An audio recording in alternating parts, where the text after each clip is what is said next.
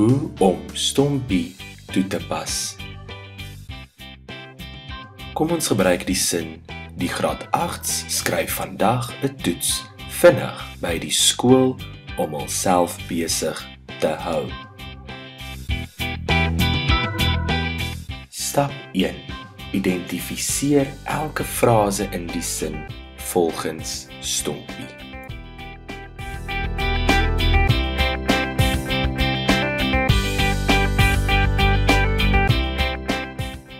S staan vir subject. Die graad 8s.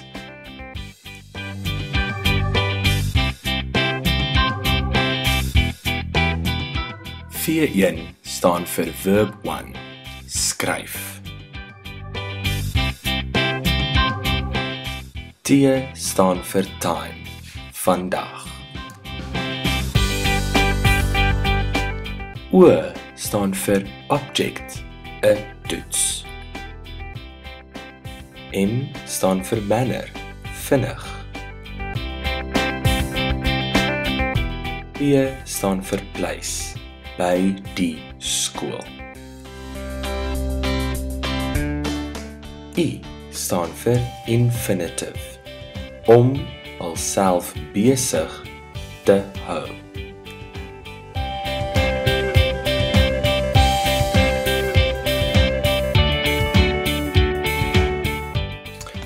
Jy kan ook die vraag afvra wat gepaard gaan met elke stompie letter. Subject vra mens wie?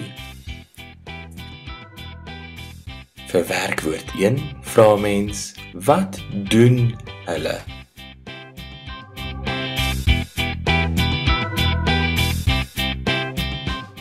Vandag is die antwoord tot jou vraag vir tyd. Wanneer?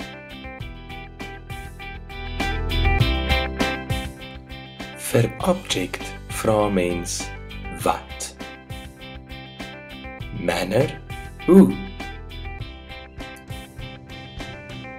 Place? Waar? Laaste, maar nie die minste nie, infinitief. Dit is belangrik om na die om te hier op te let. Die vraag wat jy kan vra vir infinitive is hoekom? Hier is nog 'n voorbeeld hoe jy jou stompie sin kan verdeel.